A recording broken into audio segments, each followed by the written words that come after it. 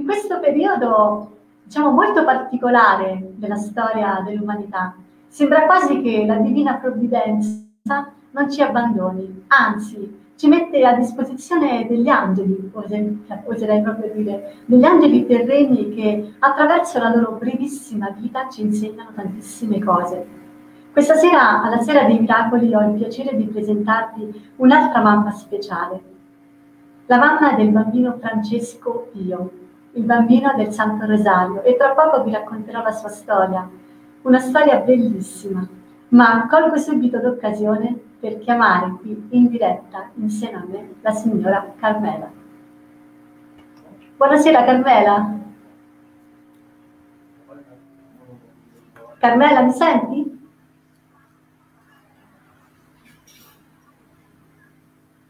Ecco, siamo in diretta e evidentemente c'è qualche problema di, di audio. Carmela, mi senti adesso?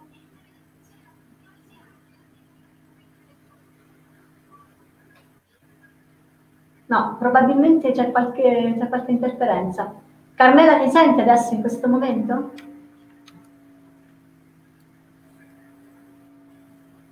Ok.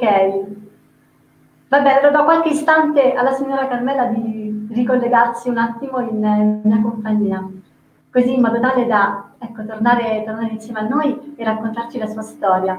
Va bene, Francesco Pio comunque è un bambino che già dalla nascita eh, ha manifestato un piccolo miracolo perché la signora Carmela, alla signora Carmela era stato comunque diagnosticato un, un tumore e i medici le avevano detto che non poteva avere figli. Ed invece all'improvviso ha ricevuto il dono della gravidanza. E quando è nato Francesco Pio, proprio il medico stesso ha detto alla signora Carmela, signora Carmela guardi che questo è veramente un miracolo qui alla Sera dei Miracoli, torno a collegarmi con la signora Carmela. Speriamo insomma di riuscire ad avere questo collegamento. Carmela, buonasera, mi sente?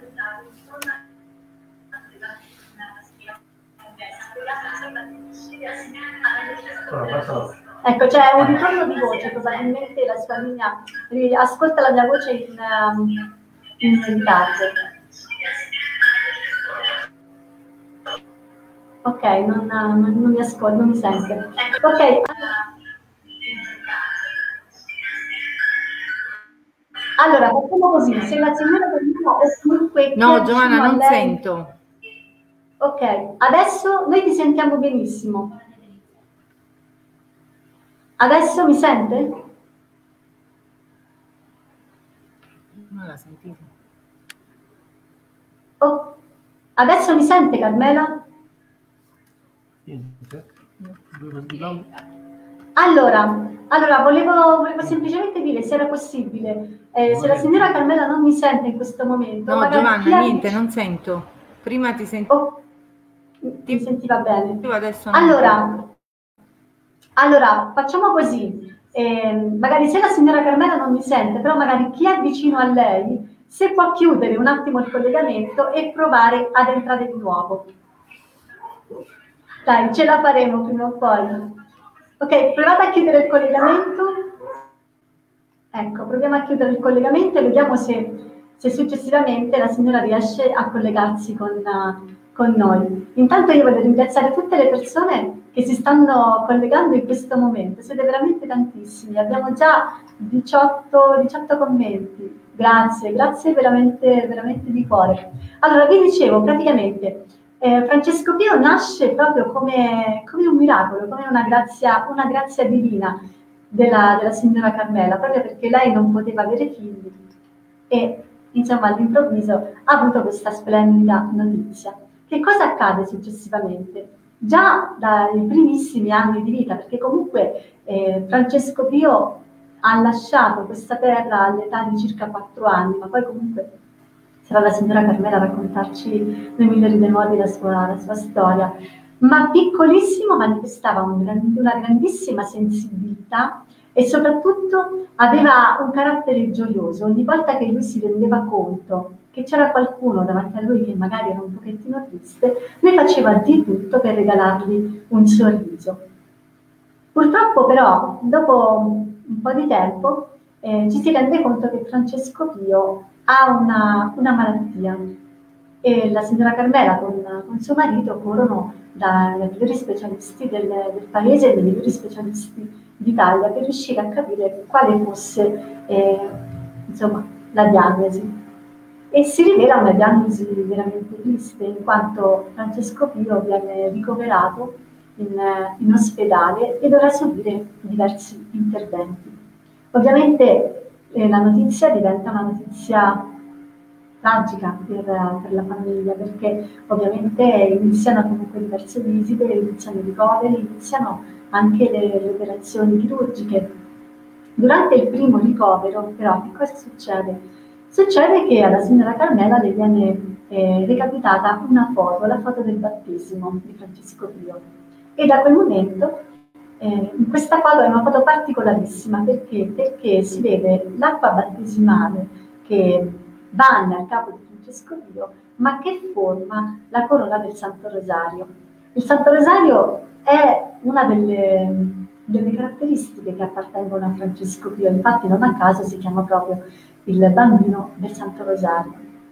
Voglio vedere se la signora Carmela è riuscita a collegarsi con noi. Carmela, buonasera. Buonasera Giovanna. Ce l'abbiamo fatta finalmente. sì, sì, ce l'abbiamo fatta. Buonasera, buonasera a tutti.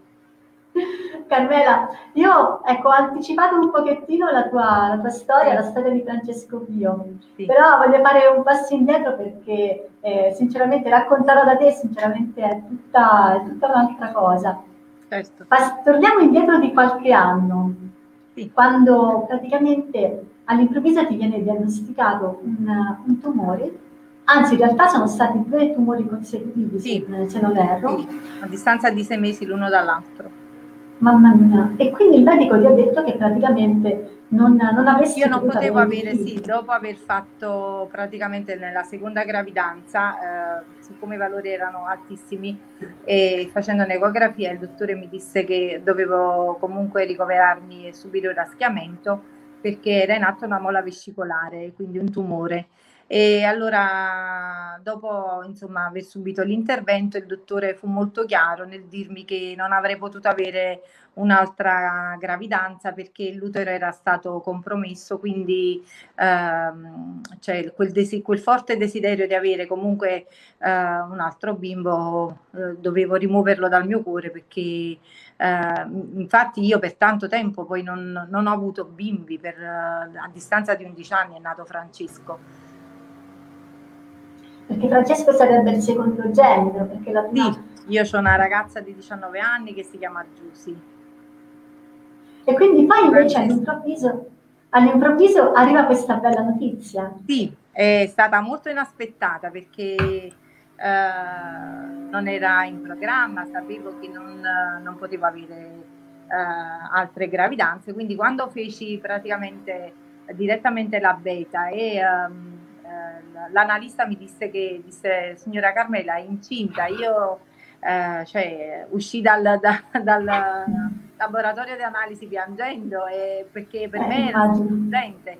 Non, infatti ho sempre detto che Francesco è stato il mio miracolo perché eh, anche il ginecologo quando mi visitò mi disse appena scendi dallo studio vai in chiesa accendi un cero alla Madonna perché tu non puoi avere figli quindi è stato un miracolo da subito lui, il mio miracolo, io l'ho sempre definito così. E poi quando poi c'è stata praticamente questa nascita, questa, eh, questa gravidanza un po', un po', travagliata, ma poi... Sì, la mia gravidanza è stata molto travagliata perché ho avuto diverse complicanze. E, mh, all'incirca nel quarto mese Francesco si era eh, praticamente appoggiato sul fegato, facendomi avere sempre la bilirubina alta. Eh, ho avuto l'ittero, ho dovuto fare tantissime cure, dovuto, sono dovuta ricorrere comunque ehm, a, frequenti lavaggi e, e quant'altro. Quindi eh, ero un po' terrorizzata da tutto questo medicinale che prendevo, fino a che quando sono andata a partorire Francesco e io ho fatto un taglio cesareo e mm, Francesco nacque tutto bianco e no. a, a che io mi spaventai no? e dissi vicino al dottore dissi dottore ma che succede? disse Carmela niente stai tranquilla Francesco è nato nella sacca vitellina ed è sanissimo, quindi, quindi non ha assorbito tutte le medicine fortunatamente, quindi cioè, eh, era un altro segno che lui mi dava della sua forza, del suo voler nascere fortemente, perché lui è voluto fortemente nascere.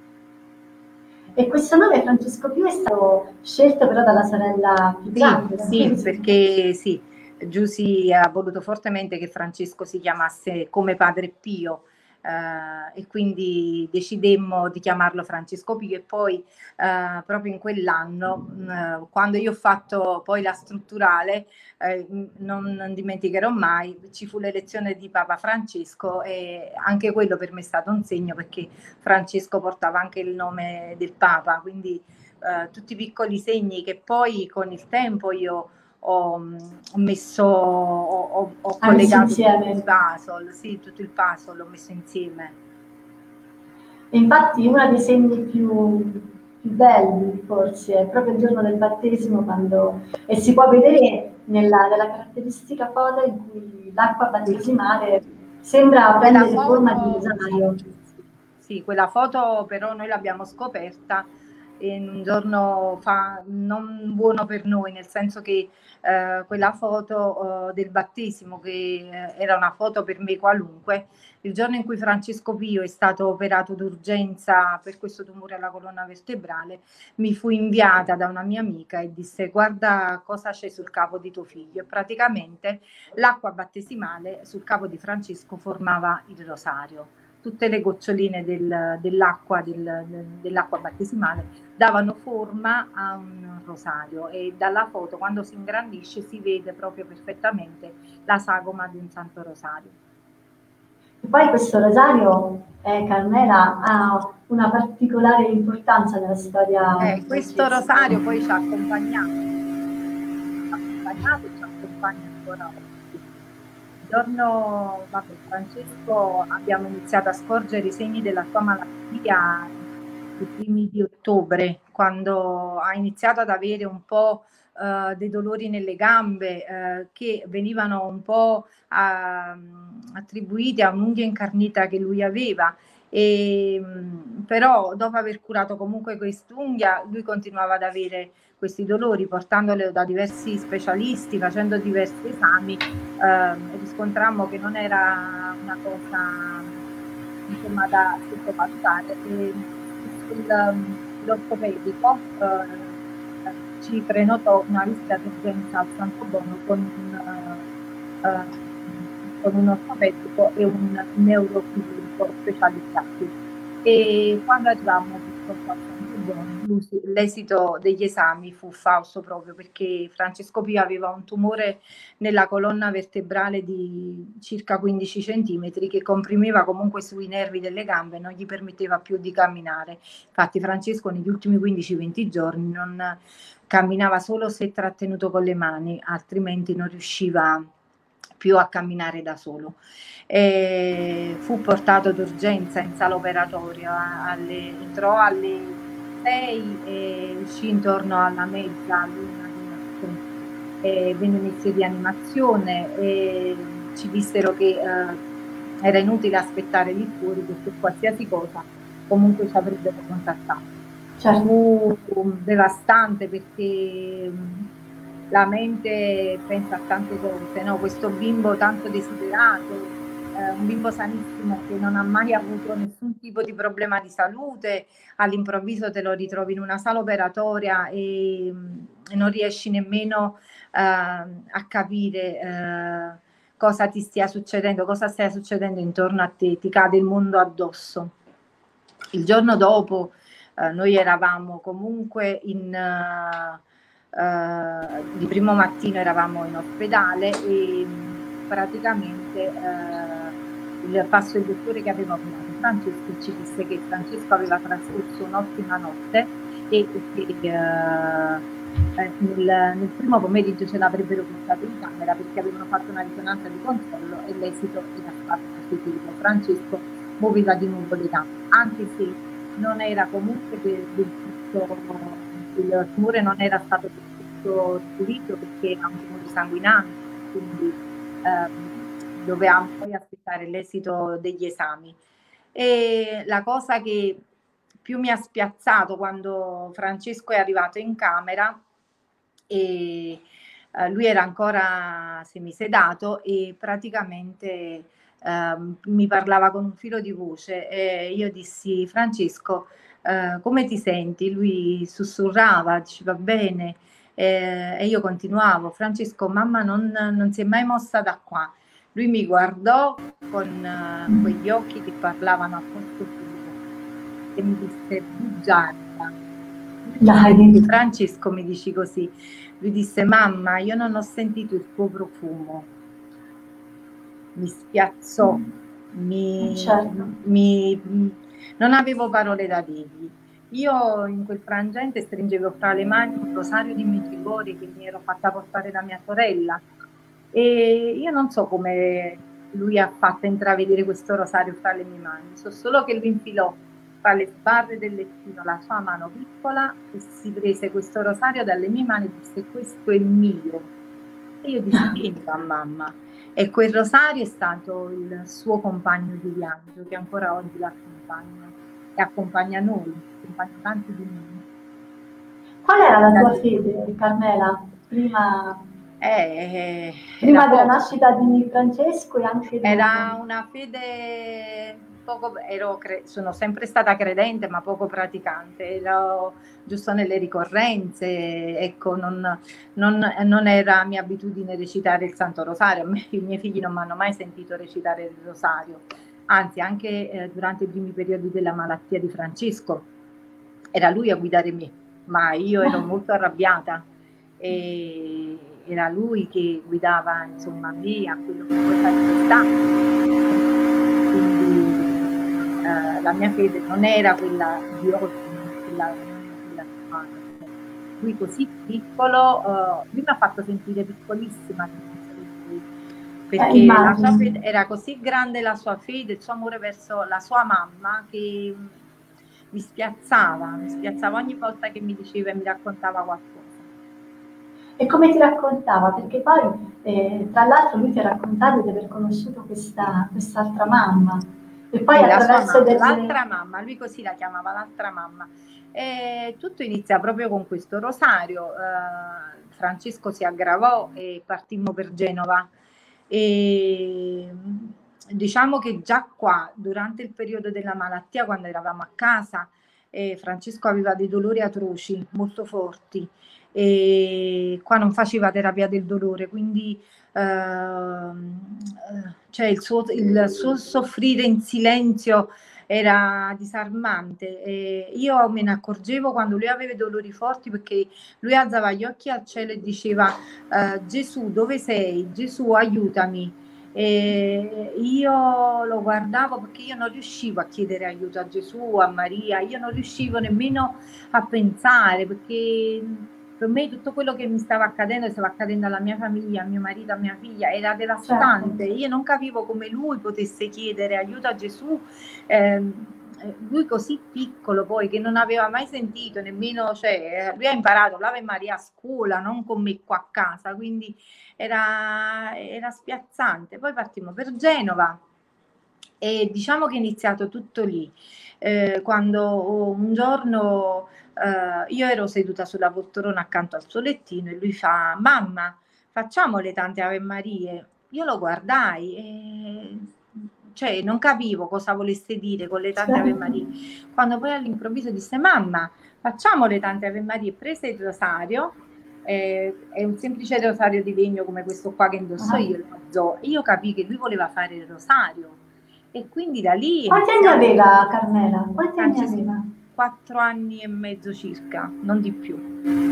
A luglio aveva compiuto quattro anni, stiamo parlando di gennaio, di quattro anni e mezzo circa. Quindi da lì è iniziato da tutte queste ave marie lo diceva in una maniera molto eh, non era poi, cioè, aveva una buona dialettica, però era comunque un bimbo di quattro anni, quindi si esprimeva a modo suo, ma a modo suo quelle tante Ave Marie scaldavano veramente il cuore. E, mm, da lì piano piano poi eh, la sera quando ci mettevamo nel letto per dormire, io dormivo sempre nel lettino con lui, a volte lo vedevo che nel sonno rideva, ma sorrideva e allora quando si sveglia mamma, cosa, come mai ridevi così tanto? Sorridevi, mamma, sapessi, Francesco dimmi, è venuta l'altra mamma. E io facevo l'altra mamma, e chi è l'altra mamma? Sì, mamma, l'altra mamma. E cosa ha detto l'altra mamma? Niente, mamma mi ha portato in un prato verde, c'erano altri bimbi con, con me, non ero da sola, da sola. E poi mi ha, mi ha carezzato e mi, e mi ha detto, Francesco, tu starai bene. Francesco ogni volta che abbiamo parlato dell'altra mamma o di Gesù bambino non ha mai detto che uh, sarebbe guarito, non ha mai detto mamma, l'altra mamma mi ha detto che io guarirò, ha sempre detto che lui sarebbe stato bene. E oggi realmente Francesco sta bene, eh, certo. sicuramente è fra le braccia dell'altra mamma. E anche durante un esame importante, una scintigrafia ossea che noi facemmo uh, sempre a Genova, dopo aver fatto uh, dovevamo aspettare il tempo del contrasto per entrare nel macchinario della scintigrafia, eh, dovevano passare all'incirca due ore e lui si, mm, sta, stava in un dormiveglia, non dormiva, riposava, ecco. E, mm, allora io dissi, eh, quando lui si svegliò per fare questo, questo, diciamo, questo esame, io dissi Francesco a mamma, tutto bene, come stai? E lui disse, sì, tutto bene, sto bene, mamma. Mamma, sai, uh, è venuto Gesù bambino da me. Io lo guardai perché volevo capire. E, e io dissi, come Gesù bambino? Sì. Mamma, Gesù bambino. Io gli chiesi com'era Gesù bambino. E lui mi disse, mamma, è piccolo, piccolo come me. E allora che mi spiazzò e dissi veramente Francesco, sì, mamma mi ha carezzato e mi ha detto Francesco, tu starai bene. Quindi ancora una volta una, uno stare bene, stare bene. E poi a un certo punto quando lui mi parlava dell'altra mamma, io volevo capire, no? Andai su internet e cercai diverse immagini e gliele facevo, gliele mostravo, gliele facevo. Quando arrivammo all'immagine della Madonnina di Meggigorie, lui sobbalzò, disse ecco la mamma, è lei la mia mamma, è lei l'altra mamma. E io rimasi veramente senza parole perché Francesco, il rosario che l'ha accompagnato, è stato il rosario di Meggigorie, sotto al capo eh, ha una, una, maglia con il volto della Madonnina di Meggigorie e, ehm, e, è come se eh, lui eh, eh, ha, avesse avuto sempre un legame forte con questa mamma. Forse mi diceva mamma, mamma, che bella come nostra mamma. Un altro episodio bello, quando venivo messi in beospitale e Francesco Pio uh, aveva comunque delle aveva un po' di alterazioni al cuore per colpa delle chemio che faceva e mh, comunque prima di dimetterci preferirono fargli un ecocore. Allora la dottoressa, siccome Francesco era molto restio ai contatti con i dottori, disse mamma Carmela, stenditi con lui sul lettino così lui è tranquillo perché ci sei tu accanto. Quindi io mi stesi sul lettino con lui, accanto a me ovviamente c'erano nella stanza la dottoressa, l'infermiera e c'era mio marito. E quando lui si fece fare l'ecocore con una, veramente in maniera tranquilla, e io lo, eh, quando lo stavo sistemando gli feci complimenti, disse Francesco sei stato bravissima mamma, uh, sei stato così bravo, non hai detto nulla guardò, ma mi ci spiazzò che con un sei di mamma. E lo so che sono stato bravo, sul letto con me con te c'era anche l'altra mamma e mi ha accarezzato e mi ha detto che io starò bene.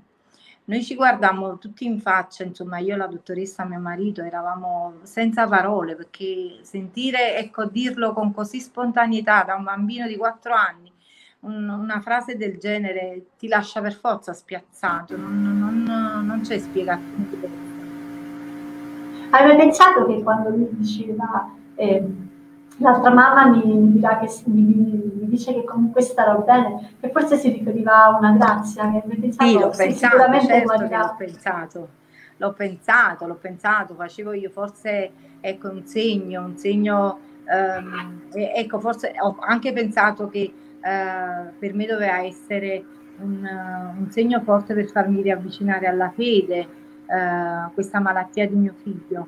Poi piano piano mi sono non arresa, però ho capito che forse il progetto eh, era, un altro. era un altro, quindi eh, anche quando Francesco Pio purtroppo ha avuto un arresto cardiorespiratorio, eh, io poi ho inteso tutto dopo, la sera, il giovedì sera, noi eravamo in The Hospital, Francesco è stato pochissimo in The Hospital, all'incirca dieci giorni perché poi ebbe questo arresto cardiorespiratorio.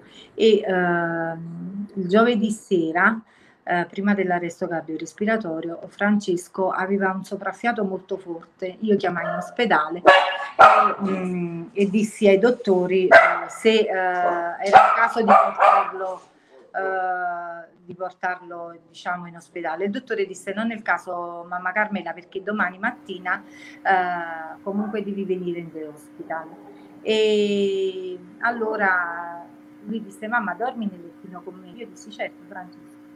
Il tempo di sederci, insomma di metterci nel letto, lui prese mm, con le sue mani, mise le sue mani sul mio viso così, um, proprio viso a viso così, e disse, mamma, il mio respiro è il tuo respiro, il tuo respiro è il mio respiro, io ti amo mamma, noi siamo sposati, siamo sposati per l'eternità. Eh, io non capivo il senso di quelle parole, però poi dopo ho compreso che era il suo modo di salutarmi. Francesco non mi ha mai detto ti voglio bene, mi ha sempre detto ti amo. È una parola che io gli ho, gli ho sussurrato dal primo giorno che ho saputo che lui era in me. E gliela, gli dedicavo una canzone bellissima ehm, che diceva proprio io ti amo e gridarlo vorrei, ma la voce dell'anima parla piano lo sai quindi sì. questa canzone è stata poi, ci ha accompagnato sempre e ci accompagna ancora oggi, perché io continuo a dirgli che lo amo come so che lui continua ad amare me, la mia famiglia e chi si aggrappa a lui oggi fortemente. E la mattina dopo Francesco ebbe un arresto cardiorespiratorio, lo portammo d'urgenza in ospedale e lo rianimarono, aveva una polmonite in corso e i dottori ci dissero che l'avrebbero comunque dovuto sedare e mettere nella rianimazione perché eh, comunque doveva essere, dove, all'inizio gli misero il casco per provare ad aiutarlo nella respirazione. E ricordo però che non fu facile perché quando arrivai con mio marito al Gaslini di pronto soccorso, io, Francesco mi morì in macchina fra, morì in macchina fra le mie braccia. Io lo posai sul lettino del, dell'ospedale, era morto Non, non respirava più. Lo rianimarono e io non capivo cosa stava succedendo. Non ero pronta, non eravamo, cioè nessuno di noi era pronto e non si è mai pronti a una cosa del genere, però così certo. all'improvviso il mondo ti viene a crollare e i dottori furono bravissimi come lo sono sempre stati. Lo rianimarono, lui si svegliò e la prima cosa che fece chiamò mamma, mamma, mamma mia, mamma mia, io mi avvicinai, dissi non avere paura, guarda i dottori sono bravissimi, mamma, mamma non temere, Francesco facevo io, non avere paura, mamma sta qua, mamma non si muove, mamma è vicino a te e i dottori poi ci chiamarono, ci dissero che lui aveva questa polmonite in atto e che comunque doveva essere sedato perché essendo piccolo poteva avere il rischio di tirarsi eh, i fili o, o quant'altro gli avrebbero dovuto mettere. E quindi lo sedarono. E quello fu l'ultimo saluto che io e mio marito abbiamo dato a Francesco perché poi da quel momento Francesco non, non si è risvegliato più fu l'ultima volta che lui ha detto mamma e fu l'ultima volta che vedemmo i suoi magnifici occhi. Poi è entrato in rianimazione e dopo dieci giorni Francesco Pio è nato al cielo, il 27 di febbraio del 2018. Quindi sono esattamente, esattamente tre anni. Tre anni e mezzo circa. tre anni e mezzo. E da quel momento però Carmela si è, si è manifestato, già da prima si è manifestato un... si sono manifestati, io direi tra virgolette, dei miracoli, perché poi come è nata ehm, l'intercessione di Francesco Pio nei confronti di, queste tante persone che si rivolgono a lui? il periodo in cui Francesco Pio, eh, noi eravamo a Genova, eh, la mia comunità eh, qua a Villaricca si è smossa tutta per eh, pregare per Francesco.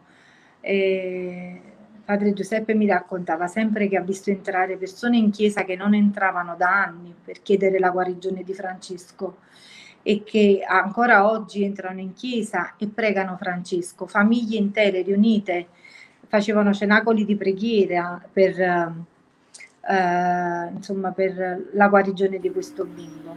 E quando noi siamo tornati a Genova, Francesco è stato accolto in un silenzio, in un silenzio che ha, ha poi eh, eh, si è rivelato per quello che doveva essere Francesco. Francesco se n'è andato in silenzio e in silenzio compie tantissimi io mi sono continuata, ho continuato il mio percorso di fede insieme con me e mio marito e ci siamo comunque aggrappati alla fede per eh, non cadere ecco, nell'angoscia.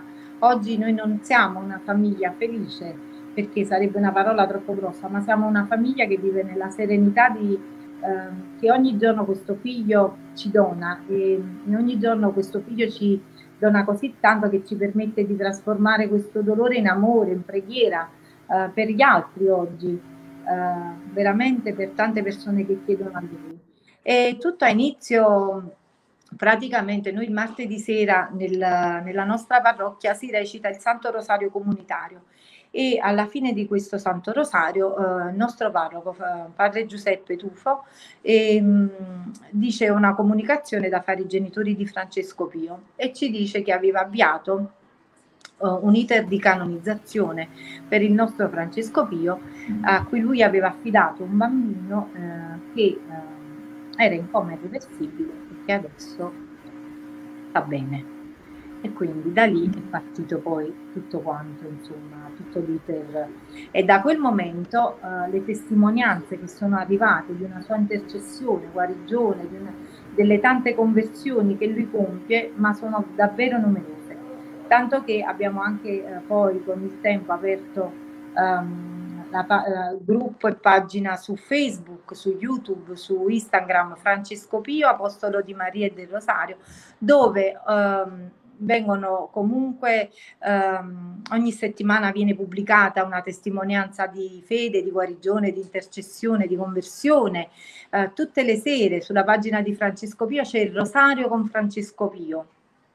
Recitato da me e, eh, e, ci sono tantissime persone che ci seguono alle 21 va tutte le sere questo eh, rosario meraviglioso.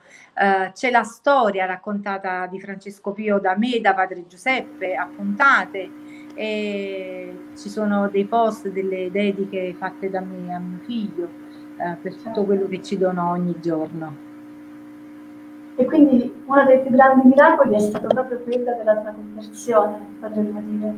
Sì, sì. Sì, ho letto anche diverse testimonianze, tra cui sì. anche la storia di, di, un camionista che praticamente... Sì, quella è stata proprio recente, sì.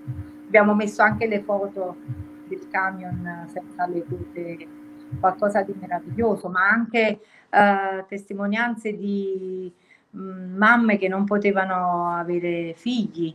Una di queste è mia sorella, dopo dieci anni Francesco andò, gli andò proprio in sogno a dirglielo, insomma, ed poi è nato il mio nipotino eh, Emanuele, Emanuele, miracolo meraviglioso, eh, ma tante, veramente tante, di persone che erano lontane, lontanissime dalla fede, questo bambino, eh, dicono sempre che questo bambino con i suoi occhi ruba il cuore, eh, anche mm, dove è sepolto Francesco Pio, ormai è un, non è, è un luogo di preghiera. Sì, è un luogo di preghiera, sì, è un luogo c'è di tutto, dalle macchinine ai palloni, i peluche, pupazzi e poi anche lì ci sono tanti bigliettini di ringraziamento per la sua intercessione, eh, per le grazie che poi hanno testimoniato, tanto, tanto, tanto, tanto.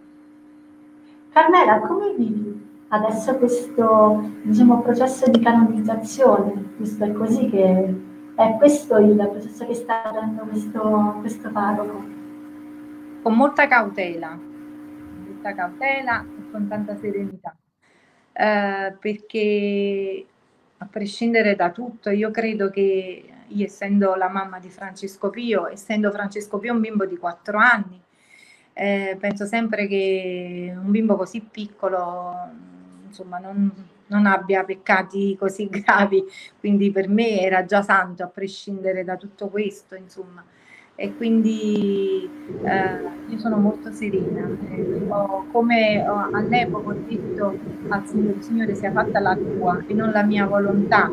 E ho chiesto a tutta la mia famiglia di non trattenere Francesco, di accompagnarlo quello che doveva essere certo. il discorso, ancora oggi io dico Signore sia fatta la tua e non la mia volontà e chiedo a tutti di accompagnare Francesco in quello che il Signore vorrà per lui.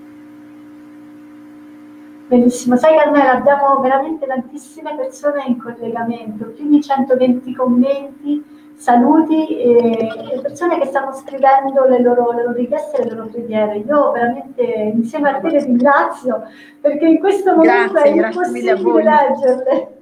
Sono tantissime. Sono contenta, mi fa piacere. L'invito anche insomma, a scriversi sul gruppo, sui social di Francesco, così che potranno vedere anche loro con i propri occhi, insomma, quello che questo piccolino eh, fa, perché fa tanto. Certo. E poi i suoi occhi parlano, anche se eh, eh, insomma non, non l'ascoltiamo così, ma con la voce del cuore si sente. Francesco si fa sentire tanto, si fa sentire tanto e come dicono tanti di loro ruba il cuore. Ruba il cuore. Quindi invitiamo allora eh, tutte le persone che ci stanno seguendo in questo momento ad ascoltare il Santo Rosario recitato da Carmela tutte le sere alle 21 tutte le sere alle 21 sul, sul, gruppo, la pagina di Francesco Pio su YouTube eh, e, e, poi abbiamo anche noi, il nostro sacerdote eh, ha scritto anche una bellissima preghiera di intercessione eh, per, eh, che eh, si può trovare sul, sulle varie pagine di Francesco Pio e si può anche scaricare una preghiera di intercessione che si recita prima del Santo Rosario. È una bellissima preghiera eh, rivolta a Francesco Pio eh, che possa intercedere presso la sua mamma e che insomma possa aiutare tutte queste persone che si rivolgono a lui. E io mi, mi unisco a questo, a questo appello. Eh, Carmela, allora io ti invito dopo la diretta, ecco, cortesemente, a rileggere tutti i saluti che ti stanno scrivendo in questo momento, perché sono dei saluti rivolti, rivolti Se a vuoi ti leggo la preghiera di Francesco Pio in diretta. Certamente. Se ti va, la leggiamo certo. insieme. Ecco qua. Un, un ecco. minuto che la prendo. Tranquilla.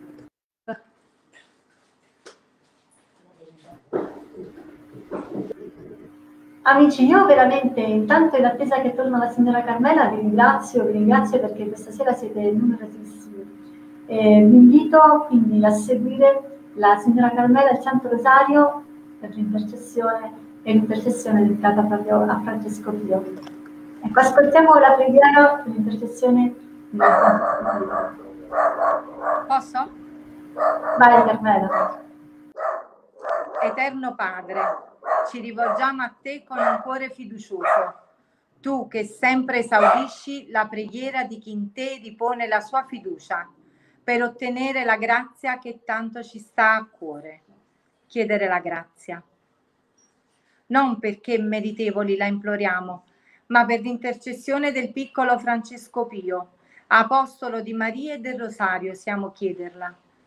La sua tenerezza e il suo candore ci rassicurano la sua dedizione al Santo Rosario permette di sentirci sorretti dalla materna intercessione della nostra Madre Celeste in questa causa che tanto ci sta a cuore. ripetere la grazia.